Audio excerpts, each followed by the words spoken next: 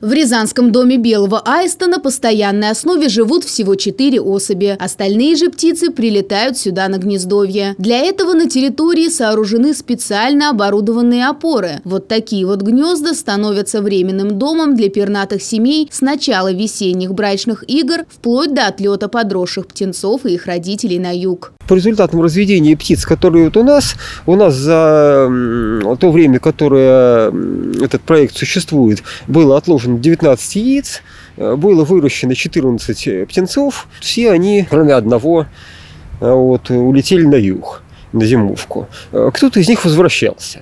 А, то есть этих птиц видели. Вообще этим птицам привычно селиться рядом с людьми. До появления Рязанского дома белого аиста численность этих пернатых была небольшой. С каждым годом благодаря орнитологам фонда она растет. А это значит, что жители региона уже должны понимать и принимать правила соседства с аистами. В целом э, идея появилась спонтанно, если так можно назвать. Мы смотрели на людей, которые заинтересованы в группах, читают наши э, в СМИ все, смотрят.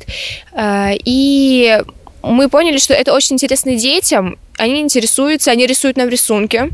Мы предложили э, нашему руководителю водить сюда детей, и мы решили, что просто водить это неинтересно. Сначала нужно рассказать детям про то, как вообще взаимодействовать с аистами. Проект «Школа белого аиста» нацелен в первую очередь на молодую аудиторию. Здесь рассчитывают не только рассказывать о бережном отношении к природе и методах взаимодействия с аистами, но и научить правильно создавать гнезда. Их будут ставить на специальные высокие опоры на территории фонда поддержки восстановления популяции этих птиц. По словам авторов проекта «Школа белого аиста», их подопечные – это еще и хороший пример для детей и подростков. Ведь у аистов очень ответственный подход к созданию ячейки общества. Они моногамны и обычно разделяют заботу о потомстве. По очереди насиживают кладку и вместе кормят птенцов. Кстати, проект поддерживает и региональный детский общественный совет по правам ребенка. Мы видим, что этот проект очень важен и нужен не только для нашей области, но и для нашей страны в целом. Мы будем э,